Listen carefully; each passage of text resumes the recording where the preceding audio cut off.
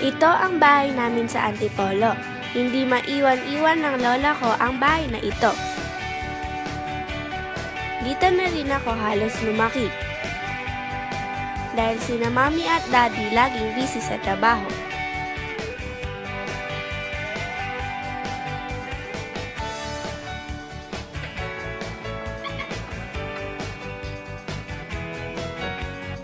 Si Lola na ang tumayong magulang ko.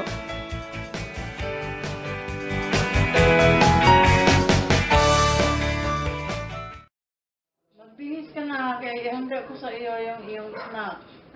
Parati ka magsuot ng tinilas para iwas sa mikrobyo.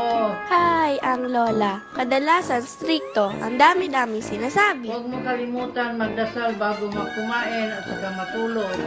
Pero sumusunod naman ako. Siyempre, good girl ako eh.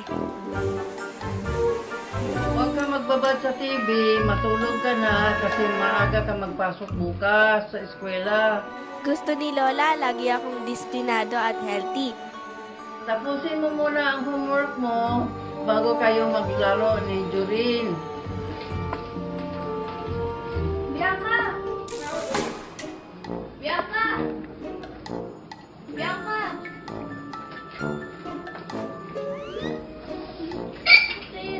Meron tayo. Eh, hindi naman pwede. Papagalitan na naman ako dito. Bakit? Hindi na ako mo. Ano ba yan? Sige.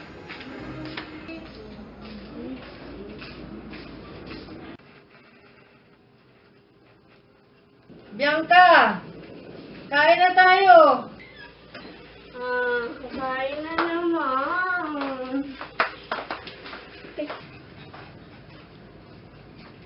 Ah, gulay na naman. Bianca, masama yung palaging karne, lalo na tosino, mga hotdog. Kaya magulay naman tayo dahil malakas yan, pampalakas yan sa katawan at saka hindi ka madaling dapuan ng sipon at saka ubo. Halika na, kain na. Dap tayo dito. Oh, magdasal muna tayo.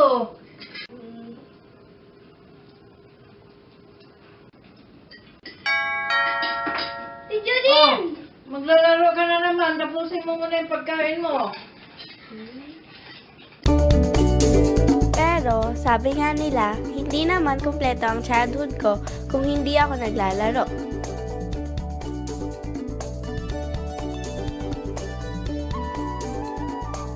Hindi ako pinapayagan lumabas ng bahay, kaya ito ang best friend ko dito sa Antipolo, si Jurin. Siya na rin ang tumatay yung ate ko. Lagi niya akong binibisita sa bahay para maglaro kami.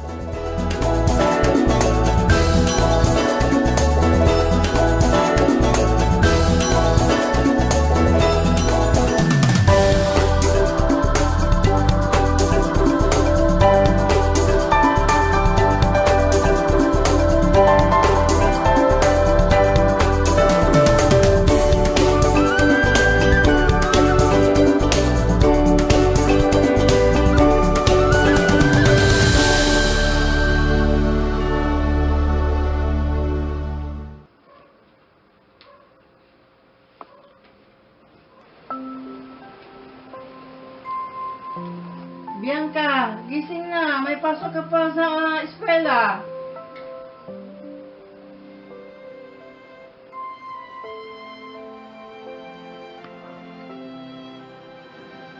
Matataas pa lang ang result ng exam mo.